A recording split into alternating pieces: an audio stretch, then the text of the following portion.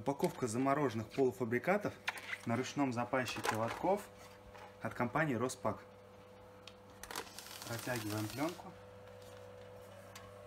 прижимаем